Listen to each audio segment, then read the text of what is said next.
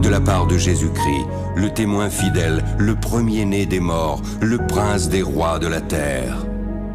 À celui qui nous aime, qui nous a délivrés de nos péchés par son sang, qui a fait de nous un royaume, oui, je viens bientôt.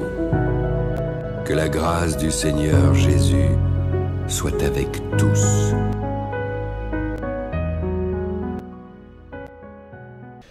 Bonjour à tous, j'espère que vous allez bien, moi ça va très très bien. Nous allons nous retrouver aujourd'hui sur vraiment une vidéo qui va être très complète et exceptionnelle, qui va parler donc des, démons, de la possession démoniaque.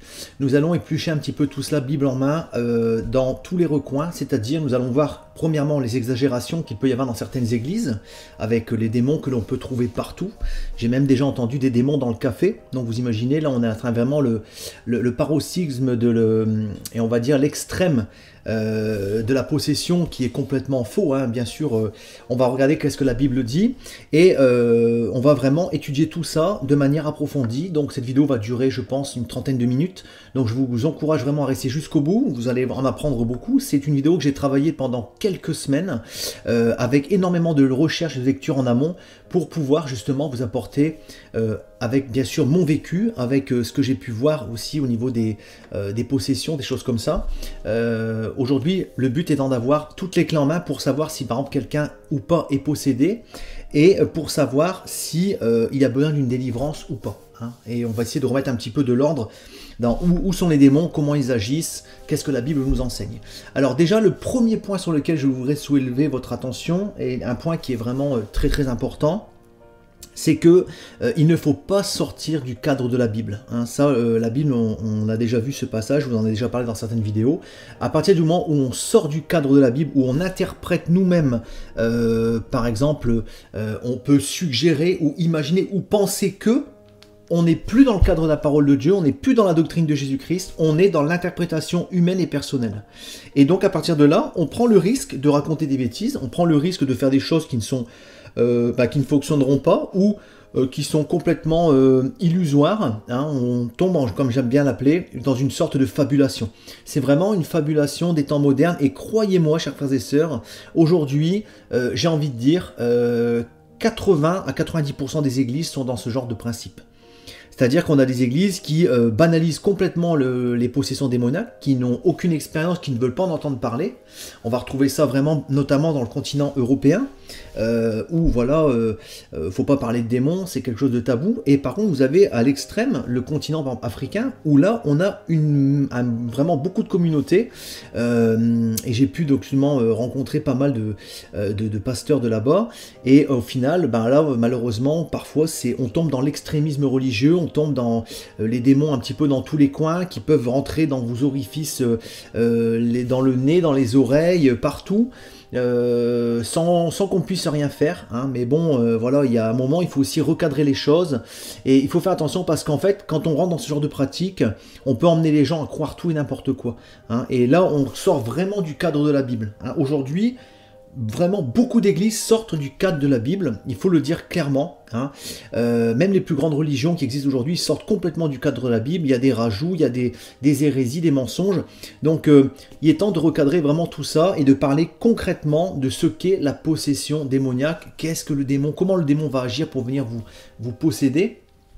Et euh, euh, comment s'en débarrasser? On va vraiment essayer de apporter vraiment plein de réponses aujourd'hui dans cette vidéo, euh, comme je vous dis, qui est vraiment une vidéo sur laquelle j'ai beaucoup travaillé.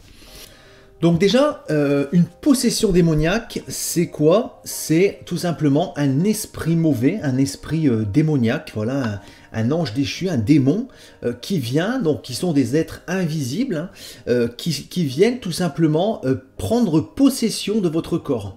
C'est-à-dire que votre corps n'est plus à vous, vous n'avez plus la maîtrise et le contrôle euh, total. Euh, parfois, le démon peut prendre contrôle de votre corps. Donc déjà, ce qu'il faut savoir dans une possession démoniaque, c'est que le démon va venir euh, à un moment donné, donc soit de façon permanente ou soit de façon temporaire. c'est pour ça qu'aujourd'hui vous avez des stars qui disent qu'ils sont habités par des entités. bon, bien sûr, on ne va pas dire que c'est des démons, hein, mais ils sont habités par des entités et parfois ils perdent le contrôle d'eux-mêmes, ils ne sont plus eux-mêmes, ils ne savent même plus ce qu'ils font. Ils sont spectateurs de leur corps et c'est le démon qui prend le contrôle. Et un démon, c'est un être qui est beaucoup plus puissant et supérieur à l'homme. Donc il peut faire des choses avec le corps qui sont euh, ben, tout simplement spectaculaires et qui vont épater les hommes. Hein. on a des stars qui vont prendre des voix incroyables, qui vont avoir une, force surhumaine, euh, qui vont faire des déplacements, des pas de danse aussi de façon très très euh, bluffant. Hein, donc là, on est vraiment dans une possession. Donc on peut, euh, ces stars-là, par exemple, le disent qu'ils ont fait des pactes. Hein. donc on, peut obtenir des cris gris, faire des pactes, faire des jeux, euh, des jeux d'occultisme, où là on va ouvrir une porte spirituelle où le démon est invité à entrer dans votre vie. Donc il va entrer dans votre vie et il va s'occuper de votre corps et de votre personne. Donc il faut savoir que on peut le faire de façon volontaire ou involontaire. C'est-à-dire qu'on peut être conscient et faire un pacte, euh, ou on peut euh, être inconscient, jouer un jeu de Ouija et se retrouver possédé. Donc euh, euh, là, comme je vous dis, ça peut être très très grave parce que on a des cas qui sont euh, très très clairs. Vous pouvez taper par exemple le film Véronica. Vous regarderez, c'est une fille, une petite adolescente d'Espagne qui avait donc, je ne dis pas de bêtises, 17 ou 18 ans, qui, à la suite d'un jeu de Ouija s'est retrouvée possédée. Elle est morte quelques semaines plus tard. Donc les médecins n'ont jamais su expliquer de quoi elle était morte. Hein. une mort étrange. Hein. Et en tout cas, elle a eu des comportements et des choses incroyables avec sa bouche qui était tellement grande qu'on pouvait mettre un point dans sa bouche, vous imaginez, euh, et plein d'autres choses hein, euh, euh, vraiment horribles qu'elle a pu faire pendant ce, cas de possession. Donc elle a fini en hôpital psychiatrique avec voilà une mort, une mort dans, cette, dans cet hôpital. Donc ça c'est une histoire vraie. On a plein de témoignages aussi sur des cas de possession, hein, toute la série des Conjuring qui retrace un petit peu tous ces cas de possession qu'il y a pu y avoir, et avec bien sûr des, des démons qui étaient aussi dans la maison. Donc ils étaient dans les, parfois dans une personne, ou parfois ils étaient dans la maison à faire peur, à faire des choses comme ça. Donc un démon ne possède pas toujours de façon brutale, mais il peut posséder de façon, euh, on va dire, euh, progressive. Donc il va tout doucement venir s'installer, euh, commencer à faire peur, commencer à faire des choses dans la maison. Et à un moment donné, quand vous êtes faible moralement et psychologiquement, il va venir prendre possession de votre corps. Ça peut se faire également de façon très brutale au moment d'un jeu de spiritisme, hein, ou pendant que vous consultez les morts, vous parlez par exemple à des défunts, vous faites des jeux de tarot, vous faites de la voyance, vous ouvrez des portes spirituelles qui ne sont pas forcément des portes qui vont amener une possession, mais qui sont des portes dangereuses parce qu'ils ont accès à votre vie, à vos, enfants, à votre mari, à votre femme, à votre famille. Donc nous devons vraiment prendre conscience qu'il ne faut vraiment pas rigoler que ces choses-là. Et si Dieu nous a dit dans sa parole que ces choses-là étaient interdites et qu'elles étaient en abomination, c'est parce qu'il y avait un danger pour l'être humain de jouer et de pratiquer de telles choses. Alors la Bible nous montre euh, beaucoup de passages qui vont euh, euh, nous montrer que des gens étaient sous une possession démoniaque. On va commencer par le premier dans Luc 8, chapitre 27 à 36, verset 27 à 36, pardon. Donc là, on voit que Jésus arrive dans un endroit et en fait, il y a un homme qui est possédé de plusieurs démons. Hein. donc on voit bien qu'il est possédé de plusieurs démons. il ne portait pas de vêtements donc il était nu, euh, et sa demeure euh, n'était pas dans une maison, mais il vivait dans un cimetière. Hein. donc euh, vous voyez qu'il était vraiment comme un, comme un mort-vivant en fait, hein. il était nu, en train de d'errer, complètement fou en fait, on, on, aurait pu dire c'était un fou, hein. mais il était vraiment possédé. Donc quand il a vu Jésus, qu'est-ce qui s'est passé? Il a poussé un cri, s'est jeté à ses pieds, il a dit d'une voix forte, Qu'y a-t-il entre moi et toi, Jésus, fils du Dieu très haut Je t'en supplie, ne me tourmente pas. Car Jésus commandait à l'esprit impur de sortir de cet homme dont il s'était emparé depuis longtemps. On le gardait lié avec des chaînes et des fers aux pieds, mais il rompait les liens et il était entraîné par les démons dans le désert. Donc les démons l'emmenaient dans le désert. Euh, il avait une force surhumaine parce qu'il arrivait à rompre les fers et les chaînes. Vous imaginez la force qu'il faut? Donc il avait certainement de, graves blessures hein, parce que les os humains ne sont pas faits non plus pour rompre des chaînes. Euh, mais en tout cas, il y avait une force surnaturelle qui était là. Euh, et donc, euh, il s'appelait Légion parce qu'il y avait vraiment beaucoup de démons en lui. Et donc, ces démons-là priaient Jésus de ne pas être projetés dans l'abîme. En fait, quand Dieu chasse, les démons partent dans un abîme, sont chassés, hein, et ils savent qu'ils vont être tourmentés. Euh, donc là, on voit vraiment un cas de possession qui est très très clair. Je vous laisse lire ce passage et le méditer, c'est très très important. Ensuite, on a un deuxième passage dans Matthieu 17 du verset 14 à 21 où là, c'est pareil. On a donc un enfant qui était lunatique. Un lunatique qui souffrait donc cruellement. Euh, il tombait souvent dans le feu et dans l'eau. Euh, donc on, l'a amené à ses disciples, on l'a amené donc euh, pour qu'il soit guéri, mais il n'y a rien qui s'est passé. Hein. Donc les, les apôtres n'ont pas réussi à chasser ce démon. Et aujourd'hui on va essayer de comprendre pourquoi aussi, parce que c'est très important. Parce que certains enseignent qu'il faut jeûner pour chasser un démon. Et vous allez voir qu'en fait, euh, bien sûr que non, il n'y a pas besoin de jeûner pour chasser un démon. Un démon euh, doit partir quand vous priez au nom de Jésus. Pourquoi? Parce que vous avez Dieu qui est avec vous, Dieu est à vos côtés, et c'est Dieu qui ordonne à la suite de votre prière que le démon parte. Donc aujourd'hui, il y a des assemblées, il y a des gens qui enseignent qu'il faut jeûner, qu'il faut prier pendant des heures, qu'il faut prier pendant des jours même parfois, euh, et les démons restent, ils restent là. Voilà, donc Dieu n'a pas de puissance, donc ça discrédite complètement la puissance de Dieu, premièrement.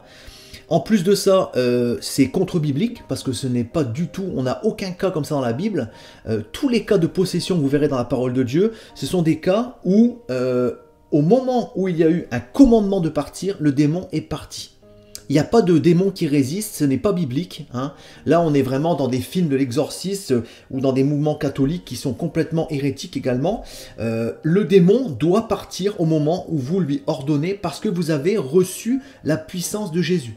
Vous avez reçu le pouvoir, vous avez reçu la capacité de faire partir les démons, et on va le voir également, c'est marqué noir sur blanc dans la Bible. Donc on n'a pas à jeûner, parce qu'en fait ce texte-là, euh, c'est un texte qui a fait également polémique, hein, parce que beaucoup de personnes disent qu'il faut jeûner pour chasser les démons. Mais en fait, ce texte-là, quand on le traduit de la version grecque antique, on se rend compte qu'en fait, il explique que les disciples, comme le cas de ce petit enfant était un cas vraiment compliqué et difficile, parce qu'il avait des problèmes de santé, donc lunatique, ce qu'on peut appeler entre guillemets épileptique, donc il était épileptique, donc ce n'est pas un cas de possession, c'est une maladie euh, du système nerveux. Et en même temps, il était possédé parce que ce démon le poussait à, tomber dans, voilà, dans du feu, dans de l'eau. Hein. donc il le poussait à faire de mauvaises choses, hein, quand on regarde la traduction.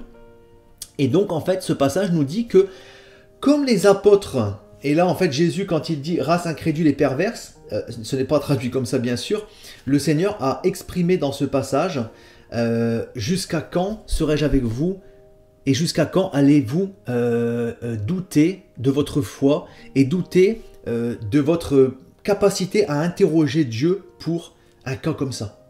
En fait, Jésus essaie d'enseigner aux apôtres que parfois, quand on voit des cas complètement difficiles comme ça, où il y a de la maladie, mais aussi une possession, il faut jeûner et il faut se présenter devant le Seigneur. Le jeûne est une capacité que nous pouvons mettre en place pour demander quelque chose à Dieu.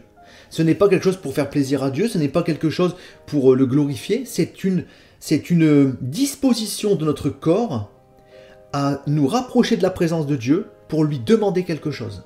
Lui demander euh, une intervention dans votre vie, lui demander qu'est-ce qui se passe, l'interroger en fait. Le jeûne est une forme d'interrogation que vous allez faire devant Dieu et vous allez avoir vos sens beaucoup plus éveillés parce que votre corps est en manque de nourriture. Voilà pourquoi Dieu voulait que nous jeûnions. Et le Seigneur Jésus enseignait qu'il faut jeûner dans des cas comme ça, parce que si vous aviez jeûné, vous auriez pu délivrer cet enfant. Parce qu'en fait, lorsqu'ils ont euh, commandé à l'esprit de partir, le démon est parti, mais par contre l'enfant était toujours lunatique, il avait toujours ce problème. Et en fait, quand Jésus donc s'est approché, il parla sévèrement euh, donc au démon, il sortit et l'enfant fut guéri à l'heure même. Alors il explique sa procès de Jésus, on voit ensuite voilà pourquoi nous n'avons pas pu chasser ce démon. C'est à cause de votre incrédulité, leur dit Jésus. Euh, je vous le dis en vérité, si vous aviez la foi. Donc là, il y avait un manque de foi et un manque de euh, consultation du Seigneur pour un cas comme ça difficile. Donc en fait, qu'est-ce qui s'est passé? Je vous ai dit des bêtises, le démon n'est pas parti. En fait, l'enfant n'a pas été guéri du tout. Euh, et en fait, quand Jésus, Jésus a voulu faire de ce cas, et eh bien tout simplement un exemple pour nous expliquer que parfois, il ne faut pas associer toujours les maladies au cas de possession démoniaque. Là, on voit bien qu'il y a une différence entre il était lunatique, il souffrait cruellement et il tombait dans le feu et dans l'eau. Donc on voit bien qu'il y a une séparation qui est faite. Euh, et ensuite, c'est pour ça qu'à la fin, il a noté cette séparation entre la prière et le jeûne. Le jeûne, c'est pour consulter Dieu. Dieu aurait dit, cet enfant, il faut prier parce qu'il a un problème d'une maladie. Hein. Les apôtres n'étaient pas forcément au courant, ils ont pris ça pour un cas de possession. Et il avait également une possession démoniaque par un esprit. Donc quand Jésus a prié, tout a disparu, bien sûr. Hein. Mais là, le passage nous explique, quand on regarde la traduction grecque, comme je vous le disais, que euh, cet enfant, il aurait fallu consulter Dieu, Dieu aurait révélé qu'il y avait une maladie et un démon, les apôtres auraient prié, et la mission se serait accomplie, donc à la perfection. Donc ce passage nous montre bien les choses de façon très claire. Hein. Il n'y a pas à jeûner pour chasser un démon. Donc là, on, est également dans Actes chapitre 16, du verset 16 à 19, où là, on a Paul, euh, qui était donc euh, suivi par une femme qui avait donc un esprit de python, donc c'est un esprit démoniaque également, un esprit très flatteur qui disait des choses vraies, hein, mais qui était complètement démoniaque. Euh, et c'est toujours dans la subtilité que les démons se révèlent. Donc là, on voit que Paul, à un moment donné, qu'est-ce qu'il a fait? Il s'est retourné, il a ordonné au nom de Jésus-Christ, et le démon est sorti au moment même. Hein? Donc, euh, il faut bien comprendre que voilà, les démons ne peuvent pas résister à la puissance de Dieu. Les démons ne peuvent pas résister à la puissance de Dieu. On a également un passage en Matthieu 9, versets 32 à 34, qui nous montre que euh, deux hommes sortaient, on amena à Jésus un homme muet qui était sous l'emprise d'un démon. Donc, parfois, on peut être muet, on peut être sourd à cause d'un démon. Parfois, euh, on est dans une maladie. Donc, il faut, parfois, quand on a des cas compliqués, comme je vous disais, jeûner pour interroger le Seigneur. C'est pas tous les jours qu'on a des gens à, délivrer, donc il faut jeûner lorsqu'on a quelque chose comme ça de, grave devant nous. Jésus chassa le démon et le muet se mit à parler. La foule était émerveillée et disait Jamais on n'a rien vu de pareil en Israël. Mais les pharisiens déclaraient en eux C'est par le pouvoir du chef des démons qu'il chasse les démons. Et on connaît la suite. Le Seigneur leur a dit Comment voulez-vous que euh, les démons chassent des démons? Ce n'est pas possible. On a également. Euh, donc là, on a pu voir donc déjà tout ce qui est cas de possession. On a pu voir que déjà concrètement, clairement parlant, les démons sont là, mais les démons ne sont pas toujours euh, liés aux maladies. Hein. On peut recevoir une maladie à cause d'un héritage spirituel, par exemple nos pères qui ont été dans le péché, euh, et qui m'ont transmis des maladies. Ça peut être aussi malheureusement euh, la vie qui fait ça, une mauvaise vie, par exemple des excès d'alcool qui peuvent amener des problèmes de foie et de pancréas. Euh, et ça peut être bien sûr aussi des démons. Donc c'est pour ça que lorsque l'on voit quelqu'un qui par exemple est épileptique, qui a des comportements bizarres, et où justement on suppose qu'il y a une possession démoniaque, il faut jeûner pour demander à Dieu, et Dieu nous révèle tout de suite. Dieu ne va pas nous faire attendre, Dieu ne va pas euh, euh, dire, bon voilà, tu vas jeûner une semaine. Euh, non, Dieu nous parle, chers frères et sœurs. Dieu nous parle et nous montre que là, il y a un problème, là, il faut agir comme ça, parce que c'est, c'est ce que la Bible nous enseigne. Hein. Et comme je vous le disais, le jeûne, c'est surtout quand il y a des problèmes de maladie. Mais pour les démons, si vous voyez vraiment quelqu'un qui euh, est possédé, qui a un comportement euh, où il réagit très mal lorsque l'on prononce le nom de Jésus, il agit très mal, où il est indisposé, pas bien lorsqu'il y a des louanges, lorsqu'on parle du Seigneur, euh, il commence à trembler, il commence à avoir un comportement qui n'est plus un comportement humain, là vous savez qu'il y a un démon qui commence à être dérangé. Donc parfois ce sont des démons qui sont très, comment dirais-je, c'est très troublant et c'est très choquant parce que on voit que la personne est vraiment dans un comportement euh, mauvais, euh, avec vraiment... alors il faut bien sûr faire attention parce qu'il ne faut pas non plus voir des démons partout, ça on va y venir juste après, mais parfois, voilà, je vous disais, c'est flagrant. Quand quelqu'un est possédé, c'est flagrant. Hein. C'est pas parce que quelqu'un dit, bah non, j'ai pas envie de prier aujourd'hui qu'il est possédé. Ça c'est pareil, c'est de l'extrémisme religieux, c'est du grand n'importe quoi. un démon, c'est voilà, il y a une force surnaturelle, il y a quelque chose de, la personne n'est plus elle-même en fait. En fait, il faut bien comprendre que lorsqu'un démon prend le contrôle, la personne en face de vous n'est plus dans son état naturel. Et il ne faut pas confondre possession démoniaque et emprise démoniaque. C'est-à-dire qu'il peut y avoir des démons qui sont dans votre domicile, autour de vous, parce que vous avez ouvert des portes, mais qui ne sont pas dans votre corps. Ils sont là pour vous perturber, pour vous troubler, mais ils ne sont pas dans votre corps. Lorsque le démon est dans votre corps, et on va le voir juste après avec un exemple qui est très très concret, c'était donc euh, un exemple avec une chamane qui a été donc euh, euh, qui est rentrée en transe, et vous allez voir qu'en fait, dans l'électroencéphalogramme qui a eu lieu, et eh ben en fait le démon prend le contrôle sur la conscience de la personne. C'est-à-dire que la personne va perdre son état de conscience, elle va partir dans un, autre monde, dans une transe, hein. on peut appeler ça une transe, et le démon prend le contrôle du corps.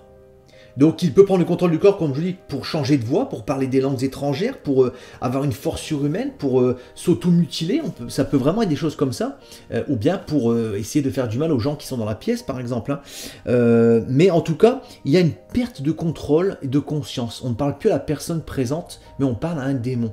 Voilà un cas de possession clair, net et précis. C'est quelque chose qui est pas fréquent, euh, mais qui peut arriver. Hein.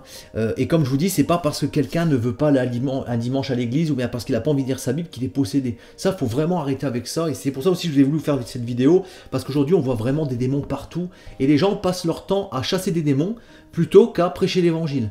Voilà aujourd'hui la mission de certains euh, frères et sœurs. ils sont concentrés et focalisés sur des démons qu'ils voient partout alors qu'il n'y en a pas. Hein. Euh, et, euh, ben qu'est-ce qui se passe? Ils passent à côté de la mission que Dieu leur nous a donnée à tous, d'annoncer l'évangile. Hein. Chasser un démon doit prendre quelques minutes, quelques dizaines de minutes tout au plus. Euh, on doit analyser la personne, on doit parler avec elle, et à un moment donné, quand le démon est trop présent ou prend le contrôle, là, qu'est-ce qu'on fait? On chasse au nom de Jésus, le démon part. Hein. ça ne doit pas prendre des journées, des semaines. Euh, voilà, donc faut vraiment faire attention à ça, chers frères et sœurs, parce que là, on est vraiment aujourd'hui dans une société où euh, ça devient vraiment du tout et n'importe quoi. Euh, j'en ai vu des vertes et des pas mûres, et croyez-moi que c'est, on n'a même pas envie de rigoler. Tellement c'est choquant et tellement ces gens vont devoir rendre des comptes à Dieu de, de, de toutes ces bêtises qu'ils sont en train d'enseigner et de toutes ces bêtises qu'ils sont en train de faire faire à des nouveaux convertis par exemple. Hein, euh, voilà, il faut, j'ai déjà entendu, il faut plus boire de café parce que le démon euh, se nourrit du café ou parce qu'il se nourrit de tel aliment. C'est quoi ça? Où, c'est marqué dans la Bible? Ce sont des choses qui sont complètement humaines et complètement euh, folles. Ce sont vraiment des folies. C'est de la folie, tout simplement. Donc là, vraiment, on est en dehors de la parole de Dieu. imaginez du temps des apôtres, avec tout ce qui se passait, s'ils avaient commencé à, se comporter comme ça, bah aujourd'hui, il n'y aurait jamais eu l'évangile à travers le monde. Hein. Donc là, c'est du grand n'importe quoi. Et comme je vous dis, il est important de jeûner, parce qu'en fait, si quelqu'un vient vous voir qui dit qu'il est dépressif, ou qui, euh, qui est très agressif dans son comportement, il faut demander à Dieu parfois, parce que si vous n'arrivez pas à distinguer, si vous n'avez pas le discernement des esprits que le Saint-Esprit vous a donné, et eh bien en fait, vous allez avoir du mal. Parfois, vous allez penser que c'est une maladie, comme la dépression, et parfois ce sera un esprit démoniaque. Euh, parfois c'est un sort qui a été lancé, parfois c'est un démon qui vient vous entourer, qui vous oppresse, mais qui n'est pas en vous. Donc il faut vraiment aujourd'hui euh, prendre le temps, lorsqu'on rencontre quelqu'un, de discuter avec cette personne. Moi il m'est arrivé de parler avec des personnes qui pensaient être possédées, et je leur ai dit non, c'est psychologique. Tu laisses beaucoup trop de place à l'ennemi. Et le diable jouait avec ces gens. Les démons jouaient parce que les démons les oppressaient parce qu'ils avaient fait des pratiques occultes, mais euh, le démon, les démons prennent la place qu'on va leur laisser en fait. Ils prennent la place qu'on va leur laisser. Aujourd'hui, quand on chasse, quand on purifie une maison, quand on purifie un corps au nom de Jésus-Christ, si les entités restent dans la maison ou si la personne posée n'est pas délivrée, c'est qu'il y a un problème de foi. C'est qu'il y a un problème de relationnel avec le Seigneur. Et j'ai envie de dire que même dans la parole de Dieu, le Seigneur délivre des gens qui ne sont pas encore vraiment dans le bon chemin parce que euh, Dieu ne peut pas permettre que ces choses perdurent dans la vie d'une personne. Et d'ailleurs, il y a un passage dans la parole de Dieu qui nous explique clairement que euh, il y avait des gens qui n'étaient pas dans le chemin du Seigneur Jésus-Christ et qui chassaient, qui faisaient des choses au nom de Jésus. Et Jésus leur a dit, euh, les apôtres se sont mis en colère, et Jésus leur a dit, laissez-les faire. Et c'est pour ça que vous avez un passage dans la parole de Dieu qui nous dit que des gens qui vont chasser des démons, faire des miracles, faire plein de choses magnifiques, mais qui ne seront pas sauvés parce que leur vie n'était pas en règle. Vous ne serez pas sauvé parce que vous faites des œuvres, parce que vous chassez des démons, parce que vous prêchez l'évangile. Vous serez sauvé parce que votre vie est en règle avec le Seigneur et que vous êtes entré dans la sanctification. Voilà ce que la parole de Dieu nous enseigne. Donc aujourd'hui, chasser des démons, annoncer l'évangile, toutes ces œuvres viennent par-dessus notre foi et notre sanctification. Mais la base doit être la foi et la sanctification. C'est la foi même qui euh, nous sauve. Hein. Donc voilà, nous devons faire attention à tous ces points-là. J'essaie vraiment de vous donner toute ma connaissance, chers frères et sœurs. Euh, et euh, comme je vous disais, on parlera également de la foi, parce que la foi c'est très très important. La Bible nous dit que sans la foi, on ne peut être agréable à Dieu. Donc la foi, c'est la base. La foi, c'est le socle. Sans la foi, n'espérez pas chasser. Sans la foi, n'espérez pas être sauvé. La foi, c'est vraiment la base. Et je pense qu'aujourd'hui, beaucoup ne savent pas ce qu'est la foi. Et je pense qu'il est important aussi, par la suite, je vous ferai une vidéo vraiment complète là-dessus. J'espère qu'elle sera regardée par beaucoup de monde, parce que malheureusement, je rencontre énormément de gens qui viennent me parler. Et franchement, je suis parfois attristé et choqué de voir l'incrédulité, le manque de foi, le manque de connaissances, les gens comment ils ont été manipulés par, euh, par certaines religions. Et malheureusement, ben, à la suite de cette manipulation, les gens croient n'importe quoi. les gens ne lisent plus leur Bible. Donc en fait, aujourd'hui, comme Paul le disait, les gens sont emportés à tout vent de fausses doctrines. Les démons se font plaisir dans ce domaine-là aujourd'hui. Donc c'est pour ça aussi peut-être qu'il y a moins de cas de possession, parce qu'en fait, ils n'ont même pas besoin de posséder. Euh, les, fausses doctrines, euh, toute cette propagation, cette fausse croyance, l'idolâtrie en tout genre, euh, le, refus de la grâce, toutes ces choses-là, est vraiment monnaie courante et prolifère partout dans le monde de façon incroyable comme jamais auparavant. Donc là, on voit vraiment clairement l'œuvre des démons. Les démons agissent de la sorte. Les démons sont des, divinités euh, païennes. Les démons sont des choses qui euh, font des choses qui détournent l'homme de Dieu par le péché, par exemple. Hein.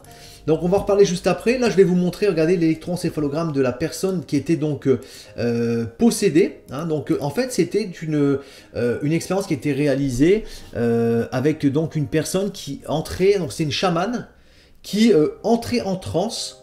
Hein, et donc ils avaient mis un électroencéphalogramme. Donc là on voit déjà sur ce premier graphique, alors regardez, ici en haut vous avez donc la, zone, euh, jaune qui est l'état de conscience. Donc euh, la conscience, elle est en jaune ici. Et ensuite vous avez donc le trait rouge ici qui lui représente en fait l'état de du subconscient. Du subconscient. Donc en fait, on voit dans ce premier électroencéphalogramme qu'en fait, bon là, le subconscient est plat, et euh, pas très, tout à fait normal, un classique. On a donc la conscience qui est éveillée, qui est bien large au niveau de, euh, des cercles jaunes. Et vous allez voir qu'en fait, l'état de conscience, au moment où la personne va entrer en transe, l'état de conscience va devenir de plus en plus plat. Donc il faut savoir que cette courbe-là de conscience, elle est plate quand on est mort. Hein. donc elle va devenir de plus en plus plat, donc la personne sera de moins en moins consciente, et vous allez voir que le subconscient, c'est-à-dire que il y a quelque chose en elle qui va se réveiller et qui va activer un, subconscient. Donc c'est, on voit clairement la possession, hein, vous allez le voir. Et là, regardez, en fait, là, c'est quand elle commence à entrer en transe. Donc on voit qu'il y a des, vous voyez, c'est par intervalle, il y a des fractions. Donc il y a des moments de répit qui sont de quelques dixièmes de secondes, des moments de où la conscience s'estompe et des moments où euh, le subconscient commence à s'activer. On voit vraiment sur ce passage. Donc l'activation du subconscient sont les petits V qui sont beaucoup plus prononcés que sur le premier électroencéphalogramme, qui sont entourés de vert. Vous avez donc les zones qui sont entourées donc de jaune complet, hein, les zones euh, d'activité, et vous avez tout en haut, donc on peut voir par rapport au premier électroencéphalogramme que euh, la conscience, eh ben, tout simplement, s'aplanit. Hein. Et là, on voit donc dans ce passage, euh, eh ben, tout simplement que l'électroencéphalogramme s'affole complètement. Donc là, il n'y a plus du tout de, de, conscience. Hein. Le, vraiment, l'électroencéphalogramme s'est complètement affolé. Et on retrouve en fait ce cas d'électroencéphalogramme qui s'affole comme ça dans des cas de dépression extrêmement graves, dans des troubles maniaques, dans la schizophrénie.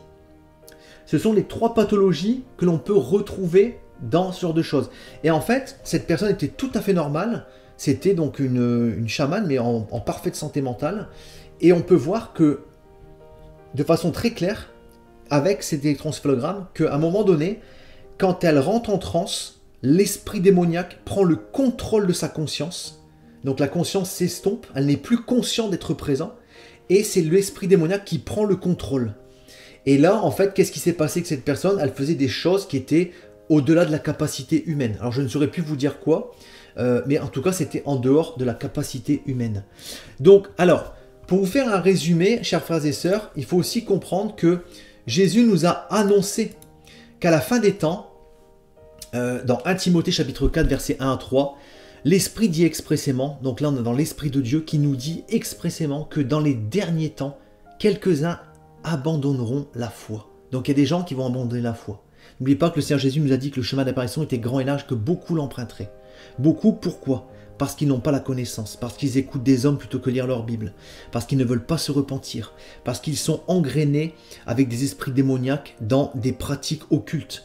Le jeu de Ouija, le tarot, l'horoscope, euh, la divination, parler avec les morts, les voyants, toutes ces choses-là, aujourd'hui, les gens en sont de plus en plus friands. Et en fait, ce sont des doctrines, ce sont des doctrines de démons, et ce sont des, des, pratiques démoniaques. Et aujourd'hui, les gens croient dur comme fer que tout ça, ça marche. Le Reiki, le yoga, euh, toutes ces choses-là. Vous imaginez, j'ai parlé avec une dame, elle faisait du Reiki. Euh, je n'ai pas pratiqué, bien sûr. je lui ai posé simplement quelques questions. Je ne lui ai pas dit euh, qui j'étais. Je ne lui ai pas parlé de la foi. Je lui ai posé la question de savoir qu'est-ce qu'était le Reiki et est-ce qu'il y avait des choses surnaturelles? Cette dame m'a expliqué qu'en fait, il y a une personne qui était venue la voir et euh, cette personne avait tout simplement des problèmes au niveau de ses yeux. En fait, donc elle a posé ses mains sur cette personne, elle est rentrée donc dans une sorte de transe pour l'énergie, toutes ces choses-là. Et en fait, elle a ressenti un message. Il y a quelque chose qui lui a donné un message en lui disant cette personne va avoir des problèmes au niveau de ses yeux. Et quelques jours plus tard, cette personne a commencé à avoir des problèmes très très importants à ses yeux. Elle s'est retrouvée donc à l'hôpital avec euh, limite de perdre la vue. Et elle avait reçu ce message. Donc en fait, la personne a eu des problèmes, la personne n'a pas été guérie de ses problèmes. Ces problèmes sont arrivés après cette séance. Alors je ne dis pas que c'est dû à cette séance, c'est une probabilité, mais je ne peux pas l'affirmer. Mais en tout cas, il y a un esprit qui a communiqué avec cette personne qui euh, faisait le, le Reiki et qui a donné l'information que dans 3-4 jours, la personne-là aurait des gros problèmes à ses yeux. Et c'est ce qui s'est passé. Donc la personne a vu ça comme un message divin, alors que c'est un démon qui lui a parlé. C'est un démon. Et pourquoi ce n'est pas euh, quelque chose qui vient du Seigneur? Parce que déjà la Bible le condamne. Ce sont des pratiques occultes que la Bible condamne. Et en plus de ça, il n'y a aucun fruit positif derrière ça. C'est-à-dire que la personne n'a pas retrouvé sa vue, la personne n'a pas eu euh, sa vue n'a pas été guérie. Au contraire, le démon lui a dit, dans quelques jours, cette personne va avoir des très gros problèmes à ses yeux. Et c'est ce qui s'est passé. Donc en fait, est-ce que c'est par l'imposition des mains de cette personne et par l'énergie, justement par ces fausses divinations, par euh, toutes ces choses occultes, qu'il y a eu ce problème-là C'est une probabilité. Mais en tout cas, comme je vous dis, ce n'est pas de Dieu parce que la Bible nous dit qu'il faut reconnaître les choses à ses fruits. Derrière, il n'y a eu aucun fruit positif. Et en plus de ça, il y a eu une dégradation du système oculaire de cette personne. Donc, il faut comprendre que dans ce passage de Timothée, qui nous dit clairement que les gens abandonneront la foi pour s'attacher à quoi? À des esprits séducteurs. La séduction.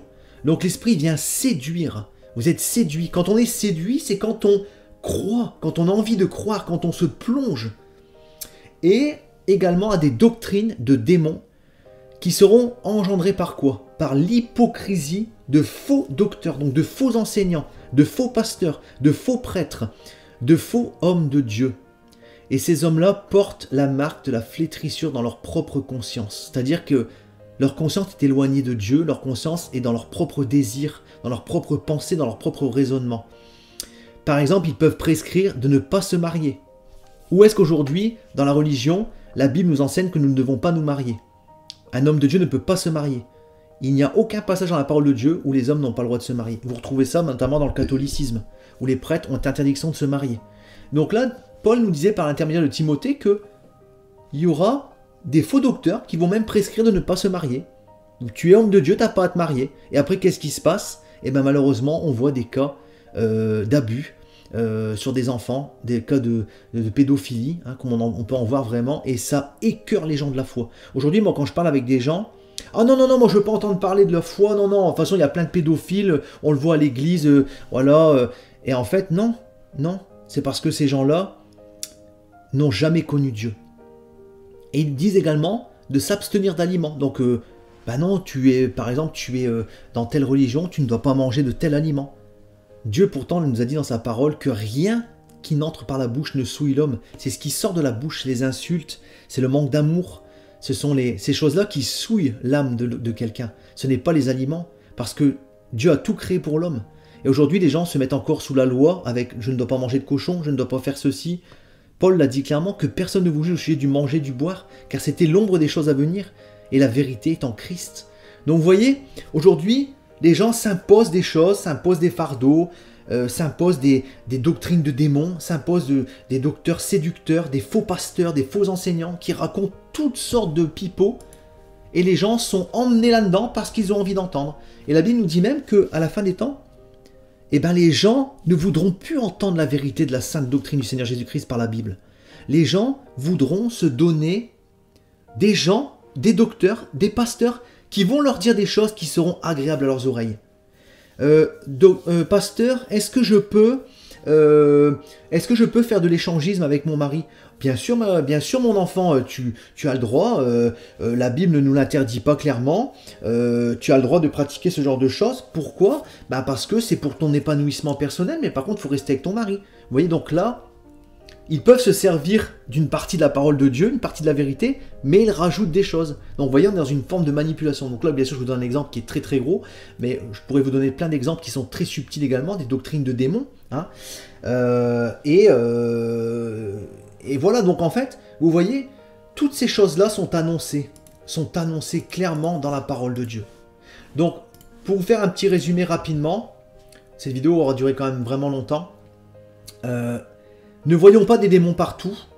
Quand nous voyons des cas difficiles où on peut constater parfois éventuellement une possession, qui est quand même assez flagrant, comme je vous le dis, quelqu'un de possédé, c'est flagrant, on ne peut pas se tromper. Faut vraiment demander le, discernement au Saint-Esprit. Euh, si on voit par exemple un petit peu de maladie à côté, de la dépression par exemple, ou de l'épilepsie, on consulte le Seigneur avant. On demande au Seigneur par un jeûne, Seigneur, voilà, je te présente par ce jeûne, je me dispose à toi, qu'est-ce que je dois faire? Et Dieu vous révélera les choses. Dieu vous révélera les choses. Je me souviens avoir jeûné pour, euh, pour moi-même. J'avais un problème euh, depuis plus de dix ans, un problème donc de d'anxiété généralisée, donc beaucoup de crises d'angoisse, beaucoup de soucis. Pourtant détendu et pas plus stressé que ça. J'ai prié, prié, prié, Dieu ne m'a jamais répondu. Et un jour, en fait, j'ai médité la parole de Dieu et j'ai compris ce qu'était réellement le jeûne. J'ai jeûné, donc imaginez, je devais jeûner le vendredi toute la journée. Dans la nuit du jeudi à vendredi, avant même que mon jeûne ne commence, donc il avait commencé bien sûr au moment où je m'endormais le soir, Dieu m'a parlé dans la nuit et il m'a dit La maladie que tu as, c'est spirituel. Donc en fait, j'étais j'étais sous une maladie spirituelle depuis plus de dix ans. Donc vous imaginez? Et Dieu m'a répondu la nuit même de mon jeûne, avant même que mon jeûne, avant même que je commence la journée de mon jeûne, que mes yeux s'ouvrent. Le Seigneur est présent, chers frères et sœurs. J'avais foi en lui, je voulais avoir la réponse j'ai eu la réponse. Dieu ne nous laisse pas tomber, Dieu est présent. Et comme je vous dis aujourd'hui, il ne faut pas voir des démons partout. Il faut faire attention à comment est traduit certaines versions de la Bible. Il faut faire attention à ce que certains enseignants disent Hein. et il faut revenir à l'évangile de base. Il faut revenir à la sainte doctrine du Seigneur Jésus-Christ. Parce que aujourd'hui, comme je vous le disais, il y a un avertissement dans la parole de Dieu où les gens, même quand la colère de Dieu tombera sur cette terre, les gens refuseront de se repentir de leurs mauvaises œuvres, de leurs péchés, de leurs euh, euh, problèmes avec l'occultisme. Euh, aujourd'hui, il y a de plus en plus d'occultisme, il y a de plus en plus de gens qui se retrouvent possédés. Hein, et nous devons voilà venir en aide, mais nous devons aussi être lucides. Parce qu'il ne faut pas confondre les possessions et le psychologique. Il y a des gens, parfois, moi j'aime les mettre à l'épreuve, c'est-à-dire j'aime les mettre face à leur état psychologique. Je leur dis clairement, je ne pense pas qu'il y ait de démons chez toi, parce que tu ne me parlerais pas comme, comme maintenant. Tu ne confesserais pas de ta bouche le Seigneur Jésus-Christ.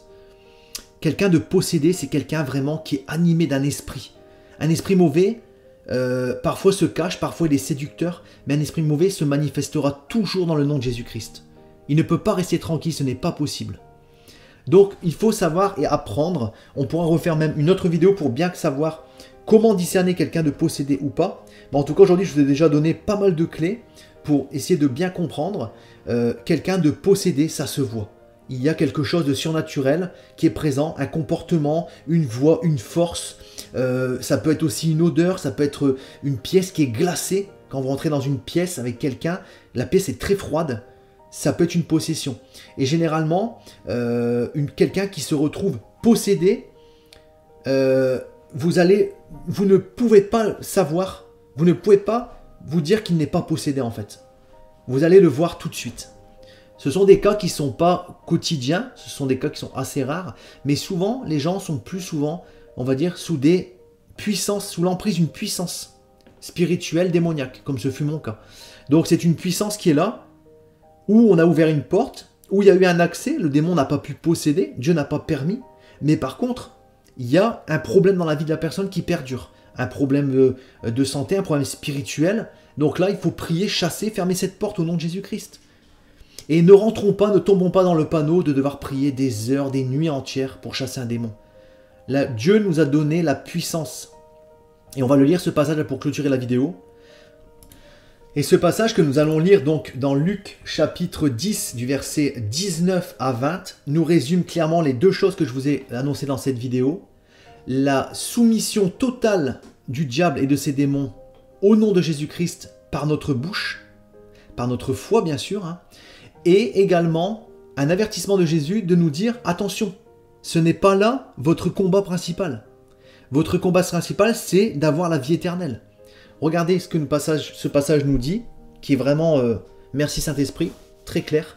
Voici, je vous ai donné le pouvoir de marcher sur les serpents et sur les scorpions. Donc là, on pourrait dire clairement les serpents et scorpions, c'est-à-dire sur le diable et ses démons. Et sur toute la puissance de l'ennemi, et rien ne pourra vous nuire. Donc déjà, le Seigneur nous dit, rien ne pourra vous nuire.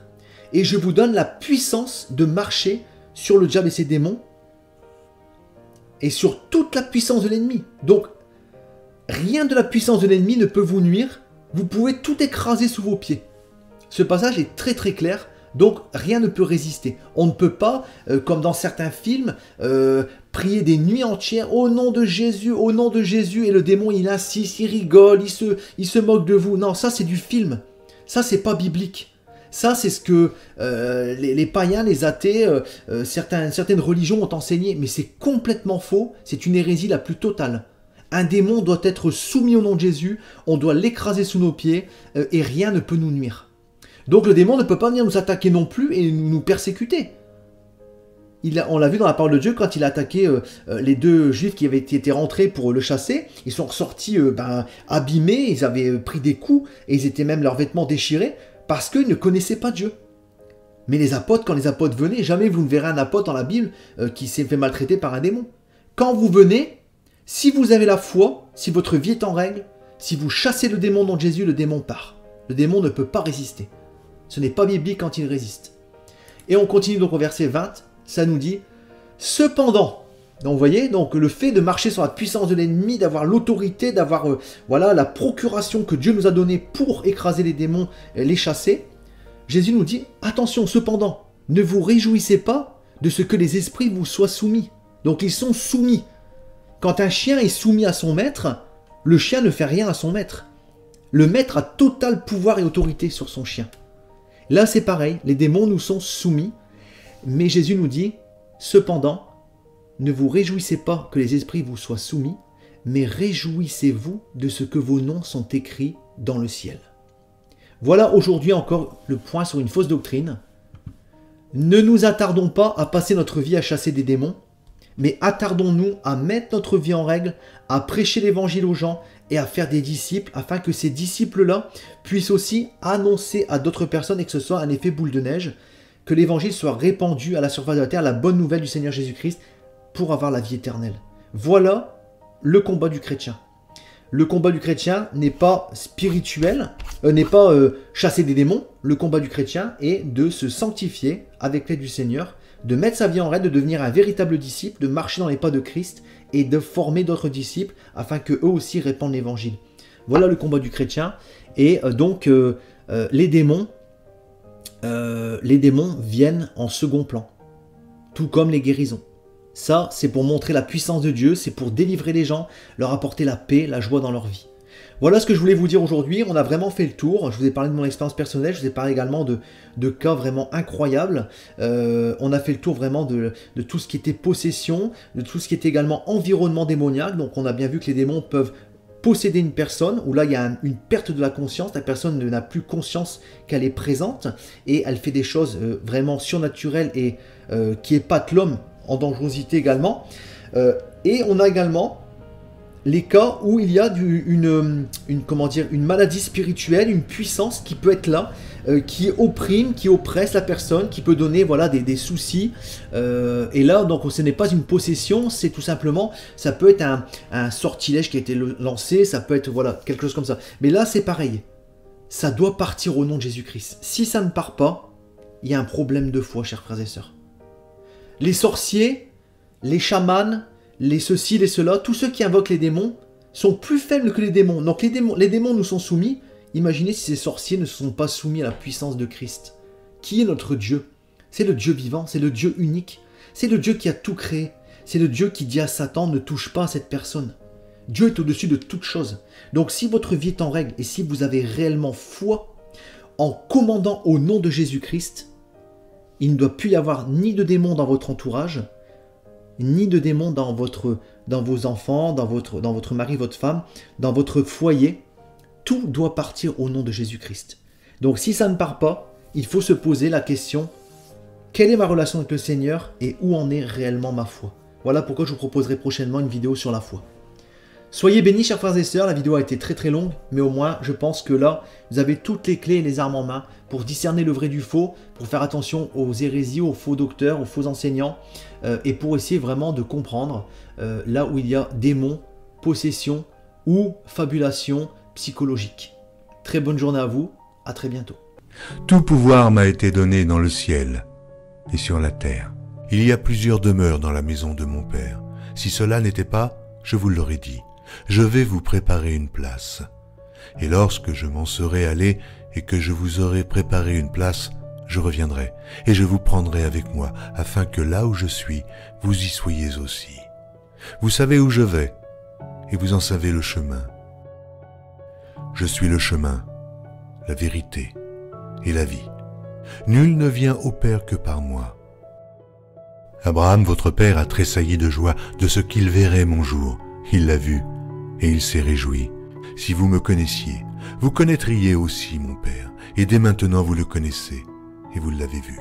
Et je vous le dis, avant qu'Abraham fût, je suis. Seigneur, montre-nous le Père, et cela nous suffit. Jésus lui dit, Il y a si longtemps que je suis avec vous, et tu ne m'as pas connu, Philippe. Celui qui m'a vu a vu le Père. Comment dis-tu, montre-nous le Père? Cette bonne nouvelle du royaume sera prêchée dans le monde entier pour servir de témoignage à toutes les nations. Celui qui croira et qui sera baptisé sera sauvé, mais celui qui ne croira pas sera condamné. Je m'étonne que vous vous détourniez si promptement de celui qui vous a appelé par la grâce de Christ pour passer à un autre évangile. Aucun mensonge ne vient de la vérité. Sinon celui qui nie que Jésus est le Christ, celui-là est l'antéchrist, qui nie le Père et le Fils. Quiconque nie le Fils n'a point non plus le Père. Quand un ange du ciel annoncerait un autre évangile que celui que nous vous avons prêché, qu'il soit anathème. Moi, Jésus, j'ai envoyé mon ange pour vous attester ces choses. Je le déclare à quiconque entend les paroles de la prophétie de ce livre. Si quelqu'un y ajoute quelque chose, Dieu le frappera des fléaux décrits dans ce livre. Et si quelqu'un retranche quelque chose des paroles du livre de cette prophétie, Dieu retranchera sa part de l'arbre de la vie et de la ville sainte décrits dans ce livre. Ces paroles sont certaines et véritables.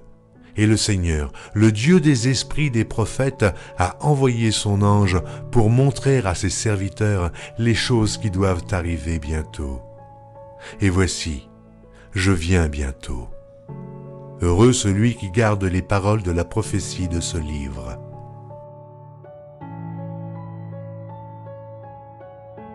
Voici, il vient avec les nuées, et tout œil le verra, même ceux qui l'ont percé. Et toutes les tribus de la terre se lamenteront à cause de lui. Oui. Amen. Je suis le rejeton et la postérité de David l'étoile brillante du matin. Je suis l'alpha et l'oméga, dit le Seigneur Dieu, celui qui est, qui était et qui vient, le Tout-Puissant, le premier et le dernier, le commencement et la fin. Que la grâce du Seigneur Jésus soit avec tous. Moi, Jésus, Je viens bientôt. Vous êtes d'en bas, moi je suis d'en haut. C'est pourquoi je vous ai dit que vous mourrez dans vos péchés. Car si vous ne croyez pas ce que je suis, vous mourrez dans vos péchés.